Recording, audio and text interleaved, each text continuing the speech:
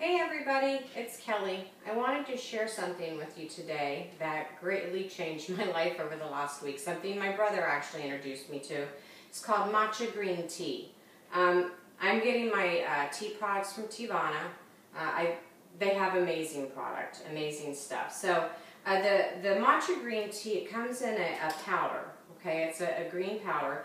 And the way that they grow these tea leaves, um, they take a lot of care in it. Um, they're grown and when they get to a certain point of maturity, they shade them and then they continue to grow. And what that does is makes the plant produce an extreme amount of chlorophyll, which we all know is very good for us. So that's why I decided to get on this train because I'm always looking for energy and an edge. And I know I found it with this stuff. It's very cool. Okay, so what you do is you take a teaspoon of your matcha powder. And they have special matcha bowls and stuff, but really any bowl will do for mixing I just stick my teaspoon in there. Um, this is a little teapot. Uh, this is really cool. Uh, what you do is you open it and, and you place inside your teas. Now, when I ordered this, they sent me a sample. This is not the sample size. I went and bought some of Blueberry Bliss and Pineapple Kona Pop. So oh my god, you open it, it smells so good. So you put, I put like, you know, a couple spoons of it in here. And then what got me started on this whole crazy tea thing is um, everybody goes to Starbucks.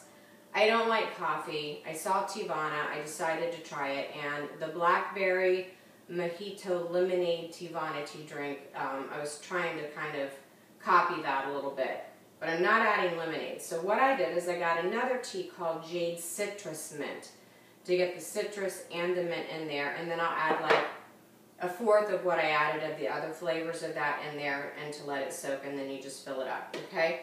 Then I've got my matcha powder and I'm going to add some water into the matcha and get a whisk. Little bamboo whisk comes in this thing, storage container. And you're just going to, you know, kind of mash the powder down, trying to get it a little bit pasty right now. And you can either do this with just water or you can even actually pour some of the tea that you're brewing into it, which is what I'm going to do once I get most of the, the green tea powder dissolved. And see if I can lean it forward. You can see that it's, it's you know, pretty well dissolved. And then what I'm going to do, this thing is so neat, okay? pick it up, and if I just touch the bottom, it's going to let a little bit of that tea out, okay? And I'm going to place it back on its holder. And I'm going to go in now.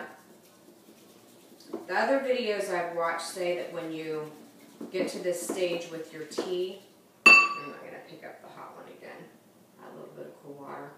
You want to start um, frothing it, okay? And you do it in a zigzag motion says you do not want to stir, stir this tea in circular motions, okay? So I'm just zigzagging it, trying to bring it up to a froth.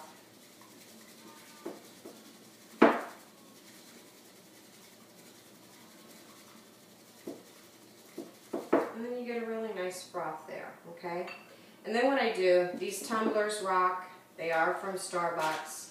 Big, huge tumblers. You can fill them with ice. They you know, works, it works as a shaker too, which I'll show you in a minute. But then I take my tumbler full of ice and I'm going to pour my matcha over it. Take some of these little bubbles out of the bowl and help it into the glass. I like to get every drop. It's pretty good stuff.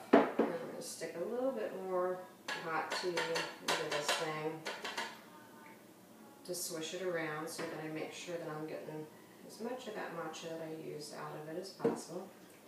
Stick it on here. Okay, now this is what is so cool about this contraption, okay?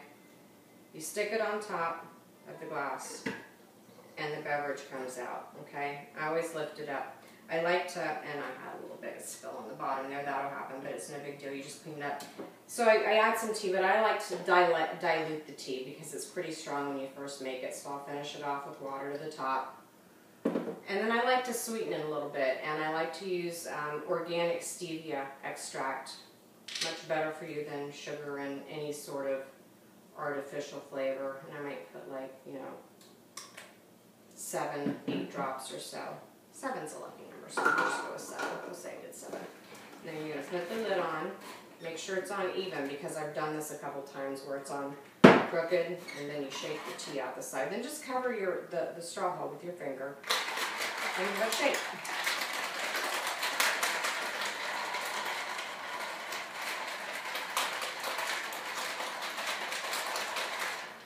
Okay, done.